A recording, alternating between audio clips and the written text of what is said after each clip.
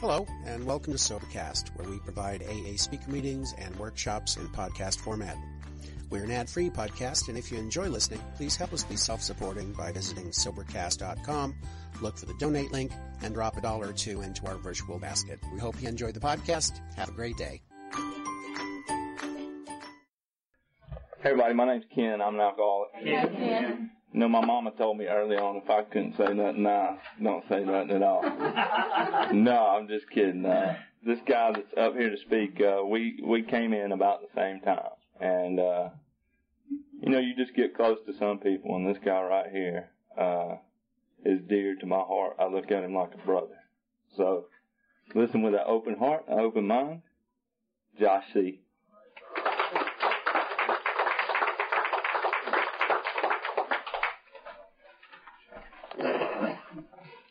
glad y'all clapped before I before I spoke. I'm Josh. I'm alcoholic. Is it, all- is it all right if I sit down? Yeah. Okay. Uh, one of my one of my favorite speakers says that uh, you never get rid of the butterflies. You just get them flying in formation. I hadn't got that down pat, but at least it's good to know that nobody gets rid of them. You know, so um, I was I, I'm real grateful to be here. Uh, It's it's it's great to to be doing something that you know left my own devices, I'd have no no way of doing. Uh, I wouldn't be able to sit up here and, and talk and you know share my life without with y'all without putting something in my body. Uh, primarily alcohol. I mean that that was that was my go-to. Um, that's what that's what worked. You know, I had a I had a spiritual problem, but I had an alcohol solution for a long time. Um, my sobriety date is January 24, 2011, which also happens to be my son's birthday. So, uh, you know, I, I, I pray that I can continue to keep the same, the same sobriety birthday. Uh, and one of the guys that's really close to me that when I came in, he was, uh, he's still a key person to me now, but he, when I told him that, you know, I said, I got sober on my son's birthday. He said, it can always be that way. He said, it can stay that way. So, um, but I've, I've seen a lot of people come in, go out, and it really helps remind me that uh that this thing's you know this this illness that we battle with, call it an illness, disease, conflict, whatever it is, is real. Um, matter of fact, I got a phone call yesterday that one of my sponsees was is in jail. Uh, I mean, it's not funny. It's just that he's the one that called the cops. He just forgot he had four warrants for for his arrest, so that didn't work out too good for him. Um, but uh, hey, if this doesn't come off good, y'all can blame Mac and Ken because it, it was their idea for me to come speak. Uh, but I have been listening to a bunch of speakers this week, so I'm, you know, I'm planning on knocking y'all socks off. So. uh, you know, my my childhood was uh, was a was a great, wonderful childhood. I mean, I had a loving family. Uh, my mom was different than anybody else's mom. She was born without arms, and so you know that kind of led things a little differently for me. But know, I really don't think that has any more to do with my alcoholism as you know my genetics or the fact that I just really like to drink. Uh, and so I, you know, I was raised in a Christian home, and and my parents were really, I mean, from the time I can remember, they were really not just religious but spiritual. You know, they had their own, um, they they really had their own relationship with God, uh, the way they understood Him, and they really lived on faith and were a really good example to me. So, you know, I can't blame anything. And I've had to reassure my mom that now that I've had some time to look over, uh, look over my life is, you know, mom, I said, the way I turned out didn't have any reflection on you.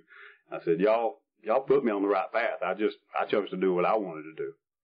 Um, but they were, they were always, I mean, always loving. Um, and, and when I was 13, we moved to Dothan so my, my dad could go to, uh, the Baptist college in Graceville.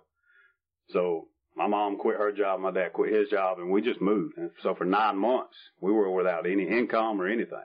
But I never went without, never went without. So they really showed me some faith at a, at an early age and showed me that, that a God thing is real.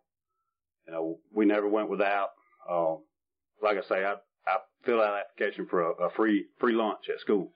And when I took it to the lady, to the lunchroom lady, took it back to her, she said, you're to have to take this back. You know, your, your parents forgot to fill something out. And I didn't know, so I just took it back home, and they just started laughing. They said, it, "That's it. Our income is zero." And so when I took it back to her, I said, "They told me to tell you that that's, that's what it is." She's like, "It's impossible. There's no way your income can be zero." I said, "Well, you know, if, if you don't believe me, just call them." So, um, so I was in church pretty much from you know as far back as I can remember. That was that was their goal. You know, that was one of their goals was to have me grounded. I had some family members, uh, specifically my granddad, who my mom didn't allow me to be around very much at all, just because her childhood was was a disaster. It was, you know, he was a, a raging alcoholic and had some real radical viewpoints on things, and ran with with a lot of people that that weren't upstanding citizens. You know, it, there was more than once that he served some some some time, but he had all the folks in town in his pocket, so he was able to, to really do what he wanted to. But my mom made sure that I wasn't exposed to that very much, and you know, still to this day, I thank her for that because that that's something that has allowed me to continue to be open minded.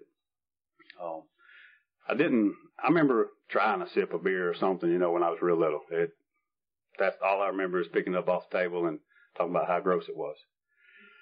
When I was 14, I had my first drunk. A friend of mine and I got a 12 pack of Corona, and that was that was plenty, and it was great. I mean, it was conviviality. It was what the book talks about. You know, it was a, a great experience, and you know, it's still one of those experiences where I think about. You know, it's still it's one of the funny ones, but I loved it.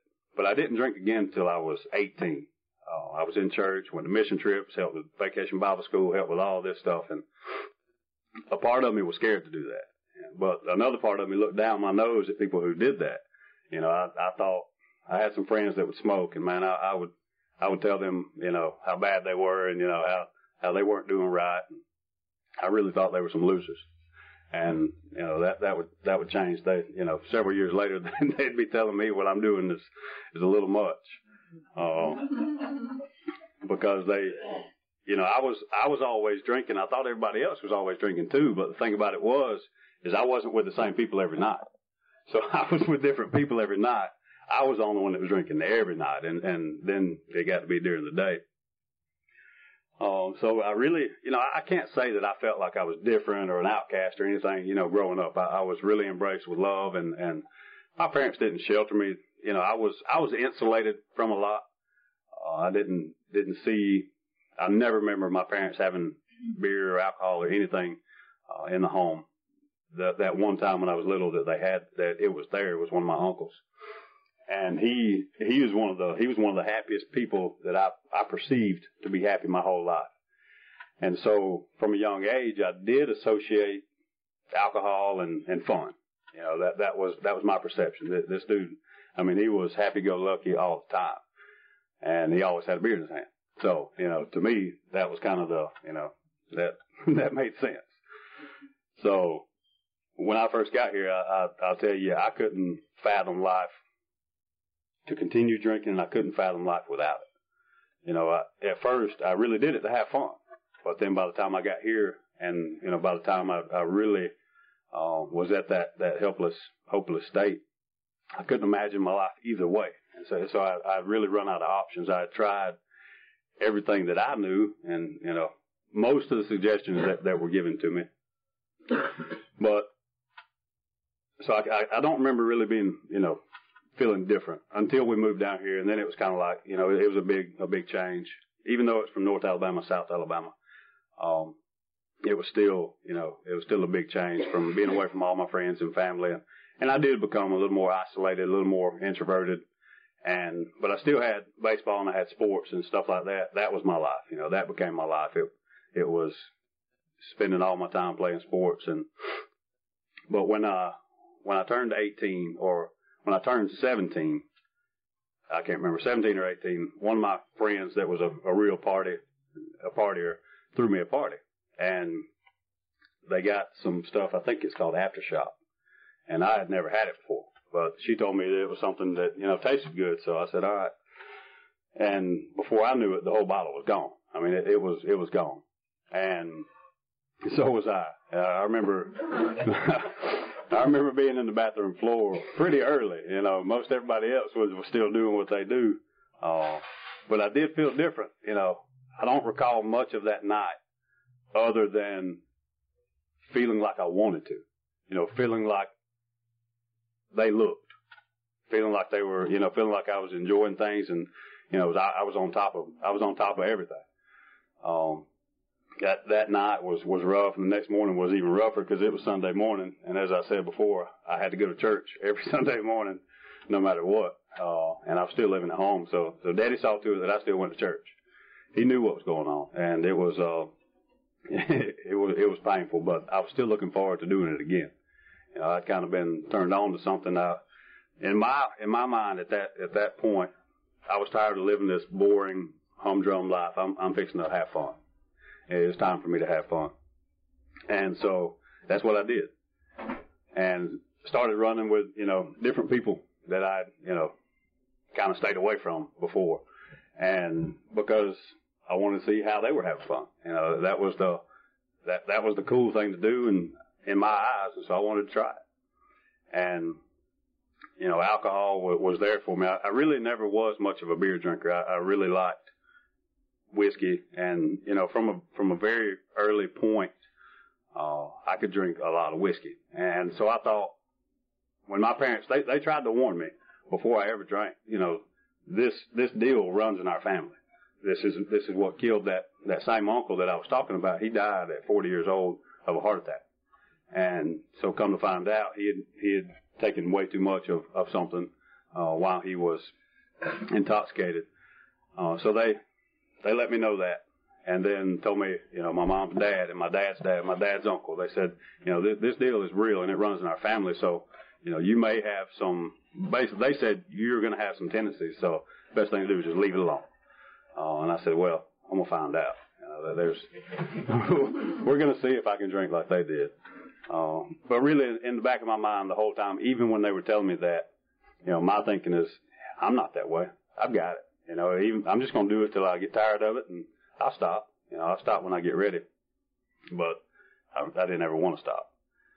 Um, so I started, like I say, I started running with with a different crowd and was still working, uh, still holding down a job there for a little while. And I started working from the time I was 15. You know, worked on the farm, clipped cantaloupes, watermelons, loading trailers, and doing doing what I had to do to buy my first car because I wanted that freedom. And continued. I've I've always had a job since.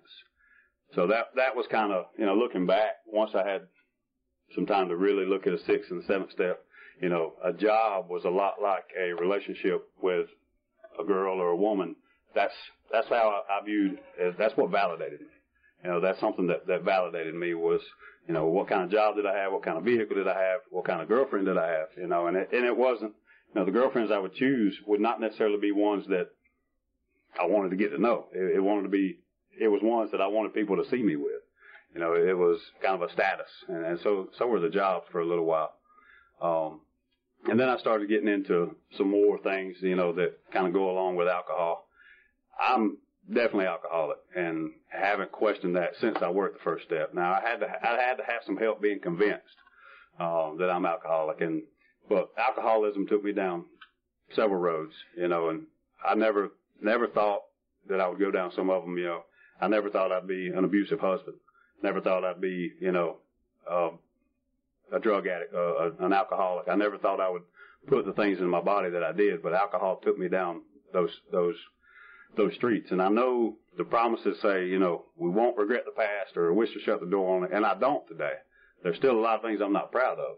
I don't know that I ever will be proud of. Um, you know, to me, as, as a young child and all the way up, even when I was doing it, you know, an abusive, an abusive husband was, was scum.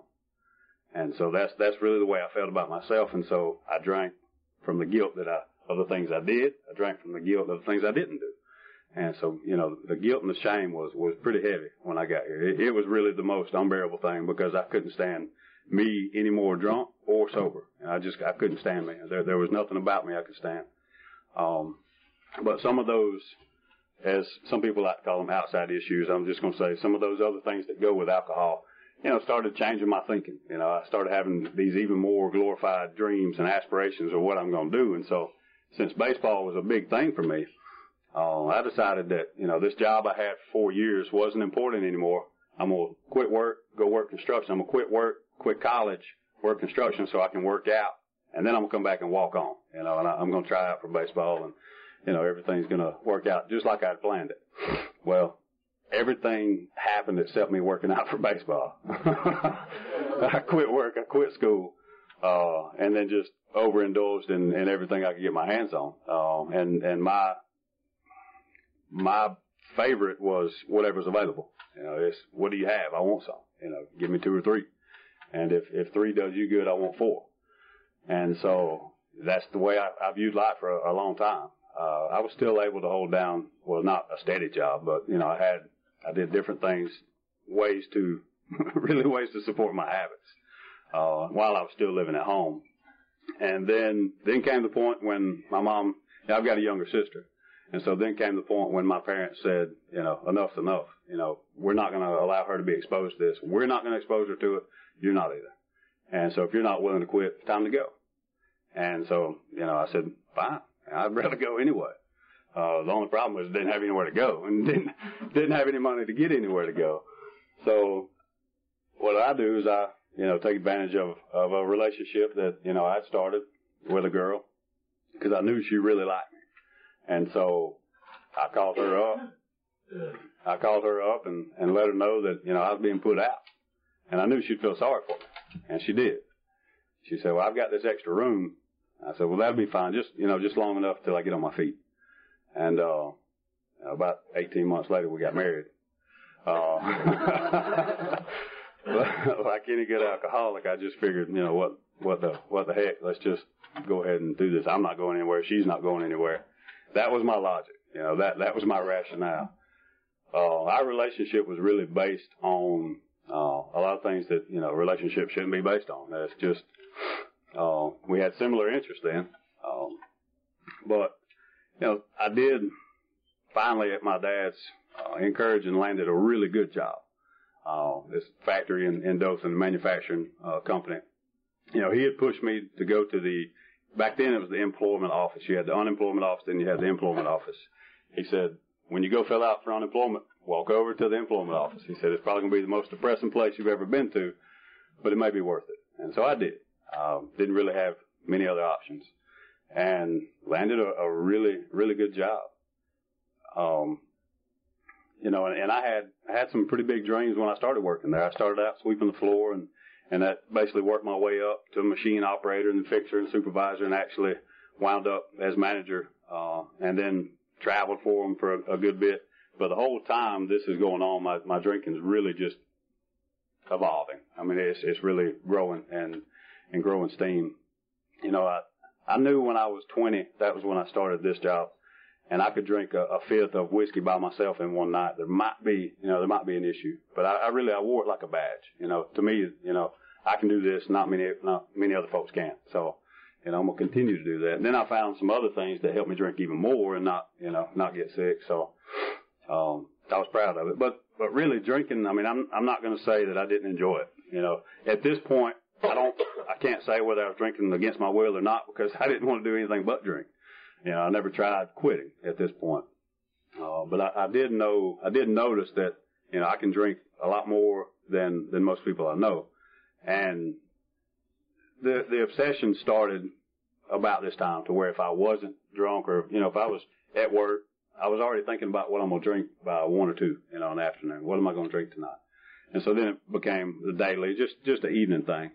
But it was still, still really, really heavy drinking. Um, continued progressing with this company, was making really good money. Uh, like I said, I got married. Uh, that lasted, that was a really good relationship for about a week.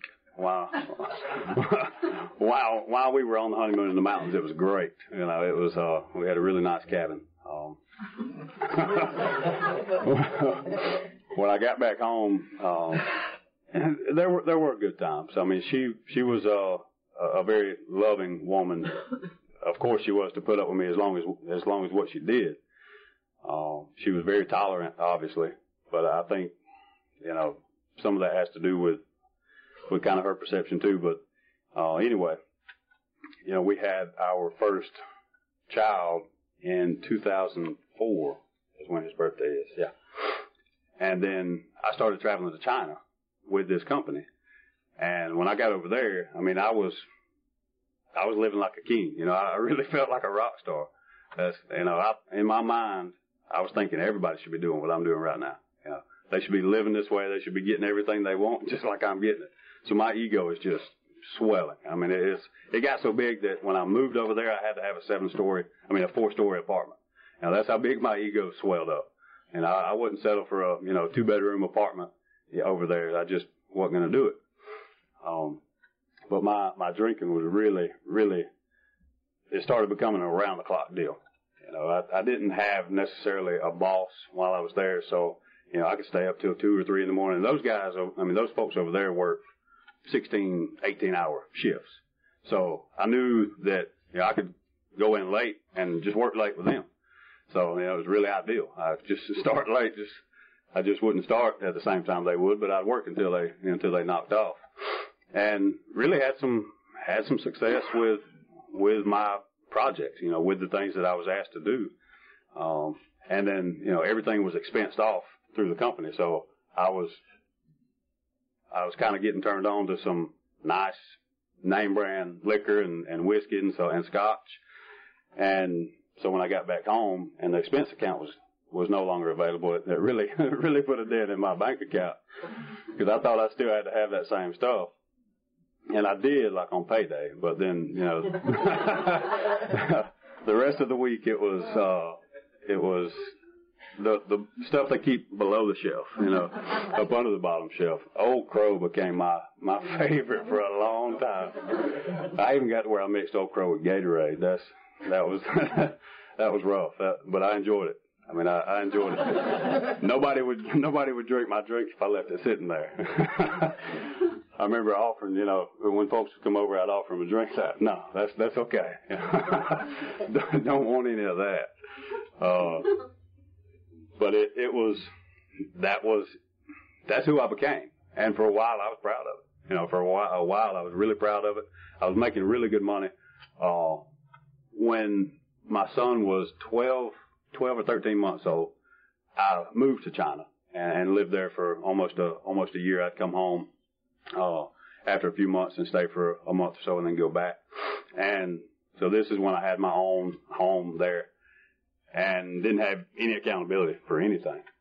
And that, that's not good for me. Uh, it's really not good for me sober. It's definitely not good for me, you know, uh, you know, in a whirlwind. And that's, that's really what was going on. Didn't really have much success for those nine months compared to, you know, the couple of weeks that I'd been going before. You know, I had a lot more success in the short periods of time. But I became the, life I was living required me to drink. You know, the things that I was doing required me to drink. I, I, I, I began drinking, you know, without even thinking about it. Not necessarily against my will, but, you know, without any thought. You know, drinking is going to be part of what I'm doing. Uh, if I was going out with my friends there, I had to drink a lot before I went because I didn't want them to see how much I was drinking. Uh, I finally met one guy over there that I really liked because he didn't shoot, uh, Chinese wine, which is just rice wine. He didn't shoot it out of a shooter like this. We shot it out of a bowl, you know, and that was his style. And so, uh, he was the mayor of that town, so I really liked him. You know, we hit, we hit, we hit it off and, and I became the designated drinker for my company because my boss from here didn't drink and the general manager there didn't drink. And over there it's customary, you know, if, if the person that you're courting is, is drinking, somebody better drink with them. So I just had to, I had to step up to the plate for him. uh, there was, there was one time, you know, he, he really gave me a compliment. He said, he said, just last week I was drinking with a Marine and he ain't got nothing on you. that's right. Uh, that's how we do it in Dixie. Uh, but it, it, it really became, I mean, the things I was doing, uh, were really eating and eroding away at my soul. And you know the, the things that that married men don't do and that you know good fathers don't do in my in my mind you know but I was still doing them uh, because it's what I wanted and I wanted it right then. So it's what I did. And some things were going on back home you know between my wife and uh, some some friends. And I caught wind of it from her mom and my mom and my friends. And so she and I talked and I told her that you know if she would just promise not to do it again, we'd let it go. You know, that kind of eased my conscience. So you know, little little did she know the reason I was so willing to work through it is because I was doing things twenty times worse.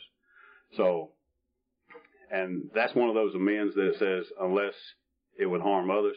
That's one of those amends I've just left, you know, where it is. And she and I get along better now today than we ever did before. You know, we, we get along much better now and, and our children, two children we have together have a somewhat healthy, you know, home environment. You know, ironically, I've become the stable parent in their life and that's only by the grace of God and, and this program. You know, I, I didn't know how to be a good friend. I didn't know how to be a good worker, anything before I got here. All I knew how to do was please me. That's it. Uh, that's all I knew how to do. So, but by working this program and, and by, you know, taking some suggestions, I can be the father that I'm supposed to be. I can be the man that God created me to be. And that's, that's only by working these steps and, and through the program Alcoholics Anonymous. Uh, I was listening to a speaker today, and I may chase some rabbits. If I say we'll get back to that, we probably won't get back to it. But I was listening to a speaker today, and, and it, it dawned on me that you know we do come to to AA.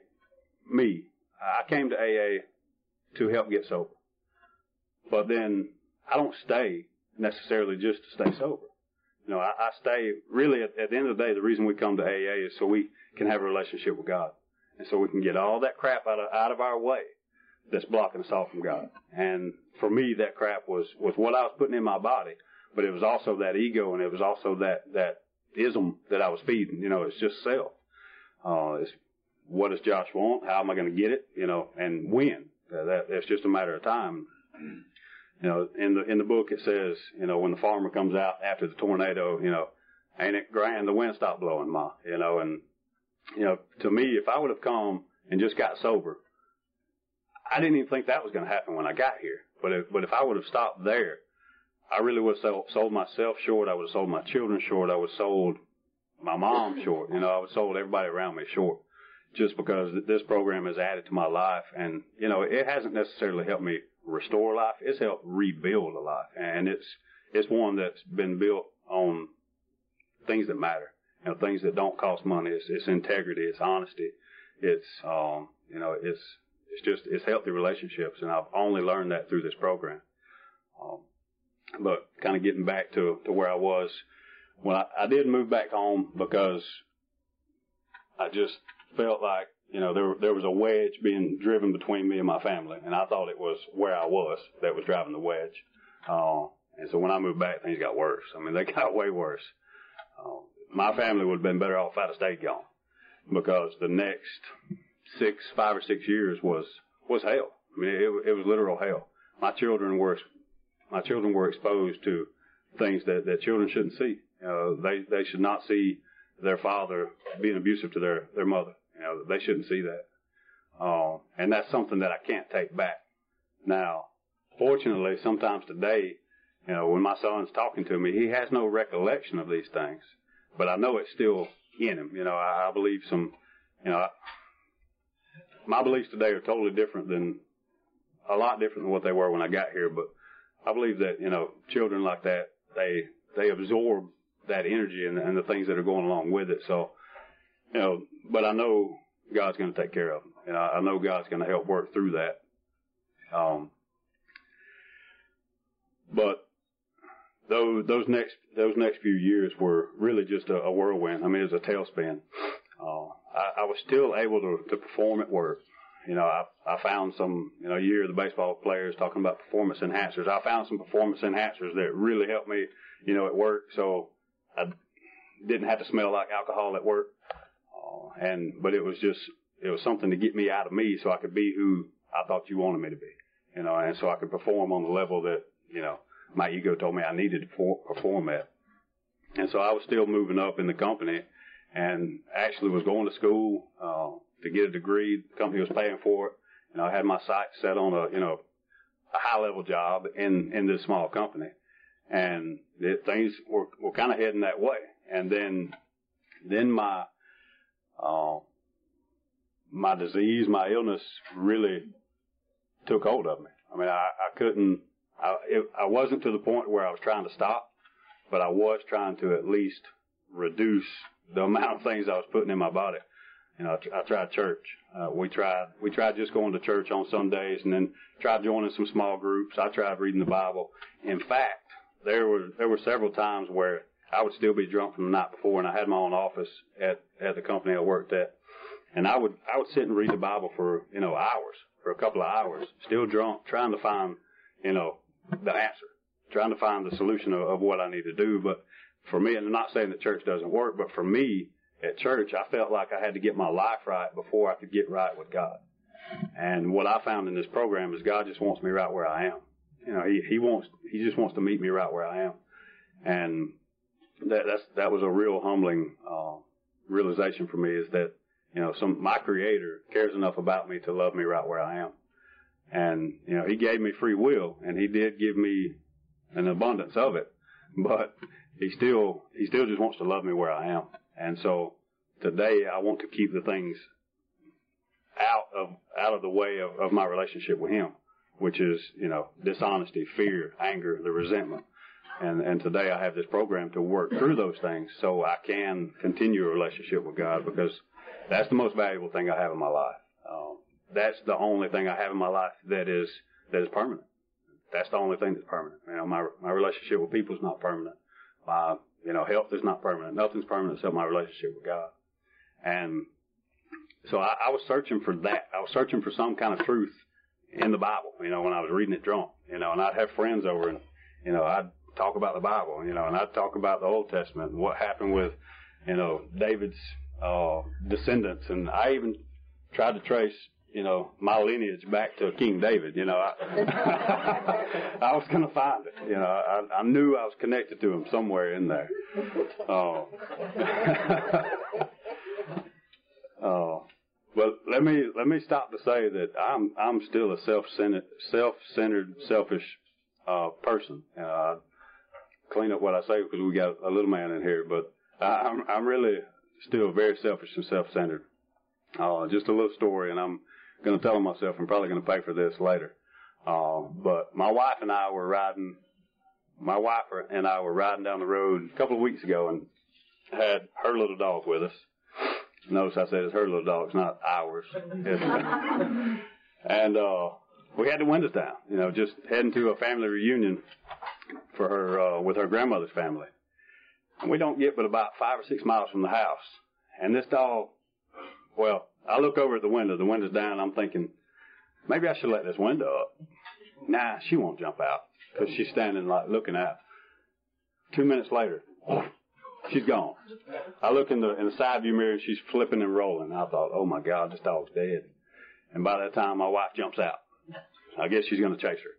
But so I put it in reverse. I mean, it's a scene. There, there's there's cars back at the the stop sign, and I'm driving in reverse to to try to keep them from hitting the little dog because she took off running the opposite way. Finally, I got her. You know, the first thing that crossed my mind was I'm not going to get any of Grandmama's cake. My wife's grandmother makes some of the best chocolate cake and best peanut butter cake. That's how selfish I am. I wasn't thinking. I wasn't thinking about her and her feelings. I wasn't thinking about the dog, and I was thinking about me not getting cake. and then we pull. Then I pull over and finally get the dog in the car, and I. I like these shirts. I just got this one and another one the other day, and it's blue. Well, I pick the dog up and I get blood on my sleeve, and I'm thinking, my God, I'm not going to get blood out of my sleeve. I just got, I just got blood on my new shirt. I wasn't thinking about the dog. I put her in the seat over there so she won't get blood on me. And then let, uh, and then let my wife get in the car. But I just, I just want to say that because I don't want y'all to get the perception that I think that I'm cured or that I'm fixed. You know, I still have to continue to do this thing on, on a daily basis because that, that to me, you know, anybody who doesn't have a, a selfish and self-centered core would think about either their spouse, you know, their feelings about this dog being hurt or the dog, at least. But no, I'm thinking about my cake. oh. Fortunately, fortunately, I have some self-awareness today that this program has given me that I can see that and I don't have to act on it, you know. She did call me out while she was crying, you know, mid, mid sob and said, I'll get the blood out of your shirt. So, at least let me know somebody's some, between one of us, somebody's working a program. uh, but having uh, having having truth, knowing truth today is is, is the most amazing thing that, that I've ever been given, and it's not something that that I looked for when I got here. If you would have told me to make a list of what I think is going to happen, you know, by coming to AA, I would have put, I don't know, maybe meeting new people. You know, that, that might have probably been the extent of it. Uh, I really had no no expectations. Um, just to kind of speed things along, you know, my last my last drunk, uh, and as as y'all can relate, it's not just that one drunk that you say I'm done. You know, I I tried to quit hundreds of times before. I'm finished. You know, I'm, I'm through. I'm through. But then by 11 o'clock the next day, it's how am I going to get it? You know, how am I going to get that bottle? How am I going to get what I need to put in me? How am I going to find my drink? And and I would go, you know, at whatever cost is is what it would take. I mean, uh, our debit card, my debit card was connected to a savings account, and I didn't care how far deep it went into it. Uh, I didn't care, you know, I, I gotten. Let me back up. I'd gotten fired, laid off, fired from from the the good job that I had. Um, but they gave me three months severance package, finished paying for my school. Basically, they just they just said we're doing away with this position. It's not your performance. I, I knew better, and I, I really knew better because I, you know, looking back, there's no way that I could have been fooling everybody the way I thought I was fooling them. There, there's no way. Um, you know, if if I wasn't smelling like it, I was sweating it out of my pores. I mean, there, there's there's no way. But I think the the only thing worse than you know scolding an alcoholic is giving them a reward. So they gave me three months pay, you know, for to do nothing, and that that uh that gave me a long time to sit at the house, you know, and do what I wanted to do. And you know, looking back, the the folks that I was running with, we were all laid off we were all fired at that time. There were like five of us that would hang out at my house every day because none of us had a job. But I just thought the economy was bad. I mean, it was just, it was just a, it was just a really bad economy, and so, you know, it was just causing a problem in, in all our lives. And but they were all doing the same things I was, you know. And uh, I, I would substitute what I was putting in my body at different times, but alcohol was always there. Alcohol was always my go-to. You know, it it would take me where I wanted it to take me. You know, if if I was pissed, it would comfort me. You know, if I was happy, it, it would help me celebrate. You know, if if I was uh, excited, you know, it would it would help calm me down. And, and it, it was it was always there. If I was too high, it would help bring me down. If I was too low, it helped bring me up. And so it, it was always my constant. You know, it's it got to where you know, I didn't hide bottles all over the house because I didn't really have to. I was married to a drinker at the time, so I mean, she she wasn't keeping count because she didn't want me to count her bottles. So yeah, there wasn't a need to hide it. I, I did try to hide some, you know, tried to hide things from my children, but you know, it, it would always come out what was going on. They just they saw erratic behavior. They saw some some uh some just a, a, a sick living arrangement. They really did, and you know, th- there was times during that period where I was laid off.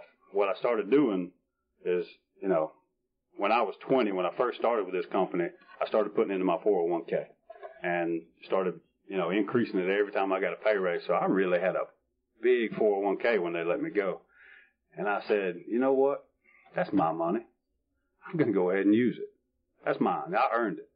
So I'm going to take this vacation. And so within about six or seven months, I blew through about $45,000 just gone.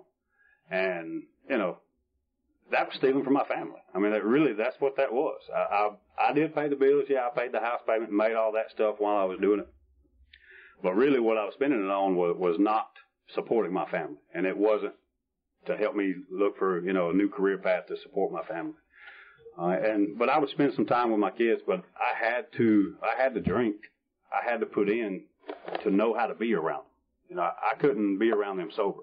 I just I didn't know how to be. So, and I, I remember one time taking my son to Adventureland and taking him to the bathroom, telling him to wait at the sink so I could get in the stall and, you know, put something in my body so I could act and, and feel the way I needed to. And to me, that was normal. You know, I had to do that. I, didn't, I didn't see anything wrong with it necessarily. I mean, my my conscience was getting at me, but you know, I could just tone that down with uh, you know another one, and so that that's the way it got for a, a few years. What I would try to do is is you know try to talk to my friends that were doing the same thing. Tell them I you know I need to I need to cut out this or I need to cut out that or just do it you know in the morning or just do it at night or uh, so so I really I really tried all those avenues. Well, my last drunk, the cops got called the morning after I'd been drinking, and I was still. Uh, I don't remember much from that night. You know, I was I was still pretty obliterated by the time they got there. Uh, I had locked my kid's mom out of the house, and then she called the cops, and I decided I'm gonna go pretend like I'm sleeping. So you know, when when the cop gets here, I don't have to talk to him. But now that that, that didn't work out. Uh, he pretty much drew down on me and told me if I don't get out of the bed, he's gonna get me out of the bed. So I got out. Uh, I said, but I'm in my underwear. He said, I don't care. You know, it, it's you do it or I do it. And so I just remember sitting there talking with them, talking with the other cop on the front porch, and you know, several, several, several times, uh, hundreds of times, whenever we would fuss and argue, you know, my wife would tell me it's over. You know, the the, the D word got slung around all the time. You know, divorce. That you know, I'm leaving, taking, and uh, that happened hundreds of times. But this this day, this morning, I was sitting out there talking with the cops, and and you know, nobody had a mark on them, so they couldn't. I knew they couldn't do anything, you know, and I claimed that she hit me, you know, and so I, I knew that they couldn't. If they didn't have any proof of either one, that they they couldn't take me. Uh, so so he was just he was sitting there talking to me, trying to figure out, you know, if things were going to calm down. He said, you know, what's this all about? What's this all over? I said, man, it's, it's about something that happened like four years ago. He said, so you're holding on to a problem that's happened four years ago? And you're still having problems about it now? I said, well, yeah, I guess. And it, it hit me. That's, that's pretty insane. That's pretty insane. And it wasn't just that problem. It was everything that surrounded it. It was my guilt, my shame, but I, I used that as fuel. I used what happened then as fuel. And so I remember when they left, and I remember sitting in our game room that, you know, my wife came out there and she said, it's done. I'm done. And I could tell in her eyes, she meant it like never before. And she took the kids and I, I guess they went to her mom's or her aunt's or something for, uh, for the weekend. That happened on a Friday night. So Saturday morning they left. Well, by Sunday evening, you know, I, I kept trying to drink, kept trying to drink, and it wouldn't wouldn't do anything. Um, I don't know if I drank so much because there was times in the past where you know I'd get so drunk the night before that if I drank more the next day, I would just turn red, you know, or in my throat or in my chest. It really, I didn't ever really get a buzz. It might would keep keep me where I was. But I just remember that night just crying out, God help me. What have I done? How do I get out of this? You know, and so I called my mom and she had told me a year and a half before that, she said, if, if you ever want help, I'll help you get help. She said, but you gotta want it. And I thought at that time, y'all are the ones that need the help. Leave me the hell alone. I'm gonna do what I do. And, you know, y'all are the ones with the problem. You've got a problem with what I'm doing. I don't have a problem with it. But that, that night I called her and I said, you know, like, like any good strong man, mama help me. mama, I need your help. Mommy, please. And, uh, she had me an appointment that next day. You know, I was, I was working a job. I had another job by, by this time and I was again a manager over another facility. I don't know why people kept putting me in management jobs. I guess I interview well. that's, that's all it could be. But um, so it was a 24 hour operation. So I changed my I changed my shift, made an executive decision. I'm gonna start working night shift. You know, so she and I coexisted for a little while. You know, so she'd have the kids at night. I'd be there in the morning to help get them ready, get them to school, or get my son to school and my daughter to daycare. Uh, and my mom got me an appointment with a facility in Dothan, and so I went and met with, uh, I guess somebody that, that does check in. I, I don't know what to call it, but the lady said, okay, uh, I've, I've, I've evaluated it, but I need to turn your file over to my supervisor. And I was honest with her. I was more honest with her than anybody I've ever been with before. And I have been to counseling and things before. You know, the longest I'd ever stopped drinking before was about four months when I got engaged the first time. Uh, so I thought I had it licked then. You know, I, I'm making too big of a deal out of this. You know, it, it's time, it's time to drink another. And that was about seven years before, before this. But anyway, I was, I was more honest with that lady that day than anybody I'd ever been before.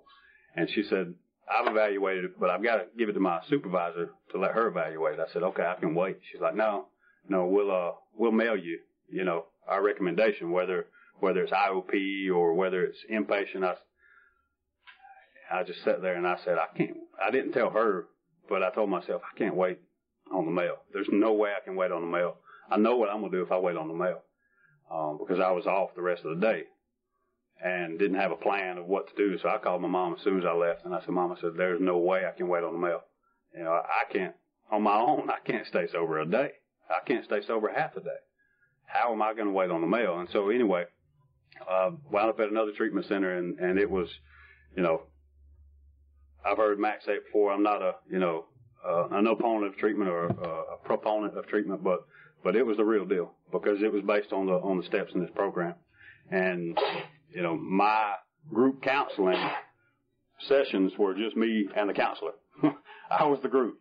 And so that, that's what my ego needed because she was ready to deflate it as soon as I came in the door. She called me on my crap from the very first day. And, but part of the requirements of me going there were to you know, start working the steps, go to meetings and, and, and all this stuff that I had no idea what she was talking about. I had no idea. You know, I, I've been arrested a couple of times before for some small, small charges and had to go through CRO, so I had to go to some meetings, but I never heard anything they said. Can't even tell you where I went. Uh, but this time was a little different. I, I was, I was ready. I mean, I, I was ready to take somebody's suggestions, and this lady seemed to know more than I did. Um, turns out at that time she had 15 years sober and, and so she was a member of AA. She didn't tell me that till after everything was over.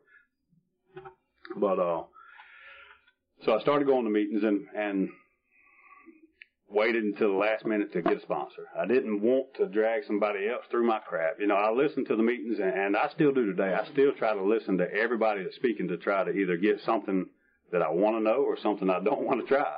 You know, I, I try to hear everybody that's sharing.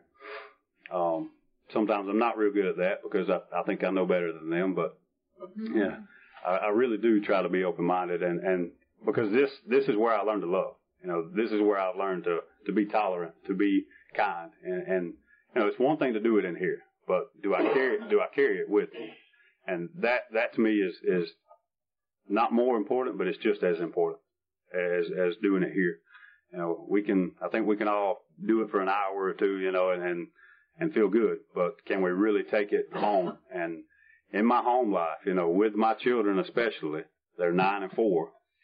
That's where my serenity is tried the most. uh, that's where I'm not going to say I struggle, but that that's where I really have to. That's where I spend the most time in prayer. You know, I, I spend the most time in prayer when it comes to my children, and and my my stepchildren. You know, all four of ours help help keep me close to God. Uh, we have a 14 year old and a 16 year old. Oh yes, I am. Oh, but but they're great. I mean, I, I love them. Oh, I, I love them unconditionally, and, and the relationship I have with my children and my wife today is because of this program. You know, I've I've learned how to be a good husband. I've I've learned how to treat a woman because of this program. You know, there's there's no no two ways about it. You know, I've I've never never been in a relationship where I was really even remotely concerned about their happiness and well-being unless it was going to directly affect mine. Uh, this is this is the first relationship I've ever been in that her happiness means more to me than my happiness, and it's, it's really the first relationship that I've I've learned that it's more important to love than it is to be loved. You know, um, and all that is due to this program and to continue to continue this thing. You know, I hear some folks say that you know 10 and 11 are the maintenance steps, but to me they're not maintenance steps. You know, I'm not just trying to stay where I am. To me, they're growth steps, and I want to continue growing. I want to continue growing closer to God, and I do it, you know, in in other ways. But prayer and meditation, you know, that's I don't put a limit just on the big book. You know, that's not it's not the only place personally that, that I learn to pray and meditate. That's not the only place that, that I learn that I grow closer to God. Um, that's the main place. Know, that, that's my kindergarten. That's my spiritual kindergarten. That's where I've started. Uh, but I, you know, back to, to getting a sponsor, I didn't want to drag somebody else through my crap, but she basically forced me. She said, either you have a sponsor tomorrow night or don't come back. And so I went to a meeting that night and I got there right as it was closing, you know, right, the meeting list had it at the wrong time. And the guy that was chairing said, if you need help finding a sponsor, see me after the meeting. So I stood by the door and when he came out of the meeting, I grabbed him by the arm and said, I need a sponsor. And, uh, he started me on the steps right away. You know, I, I had some help in, in treatment, really taking a good look at, at one and two and seeing, uh, seeing where my life had, what it had come to and seeing that drinking anything that happened undesirable, drinking was always involved. Uh, drinking was involved in everything. And so because I, I really went to treatment, and, and this is this is you know as honest as I know how to be. I really went to treatment to stop using some of the things that I was using so much. You know, I didn't necessarily think alcohol was my problem because I felt like I could still depend on it. But when I got when I when I was offered the opportunity to sit down and, and look at these things, you know, I saw without a doubt, you know, I cannot control my drinking. Once I start, and I have no telling what there's no telling how many, what I'm going to do, and if I'm not putting it in my body, I'm obsessing about it. You know, where am I going to get it? How am I going to get it?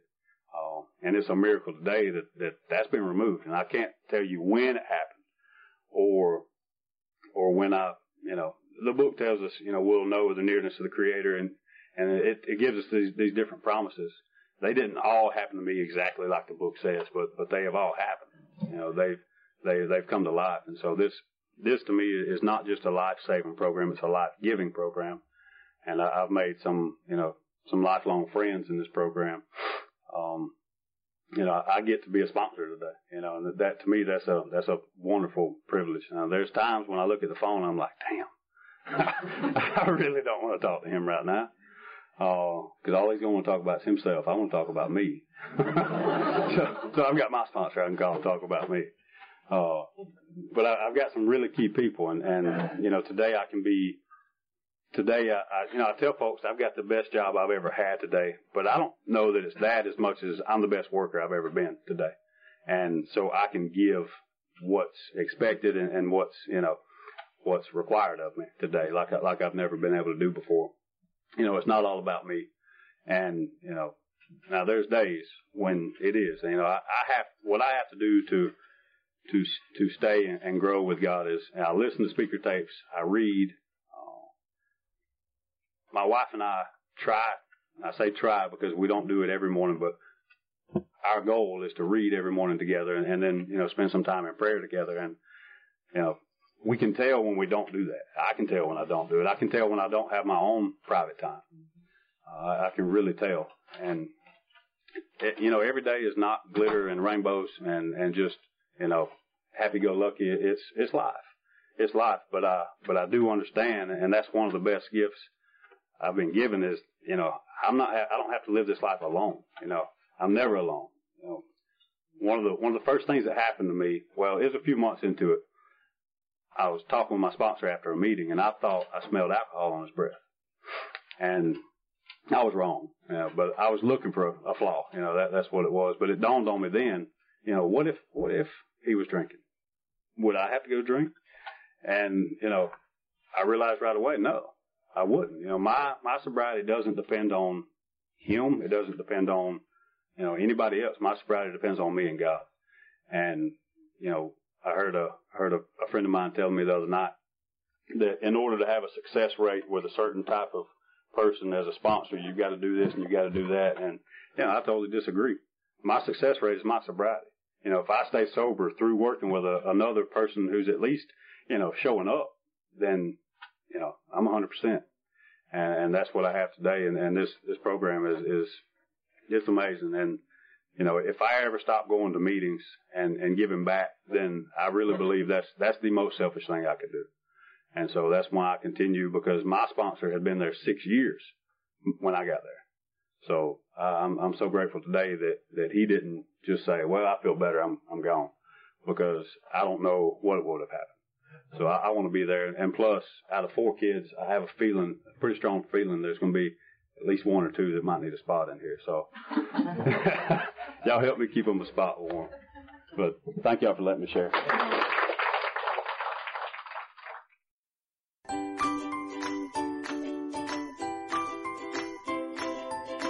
Thanks for listening. I hope you enjoyed the podcast. Sobercast is ad free, and we'd like your help in order to keep it that way. So if you'd like to help us be self supporting by pledging a dollar to a month, visit Sobercast.com and look for the donate links. Thank you very much.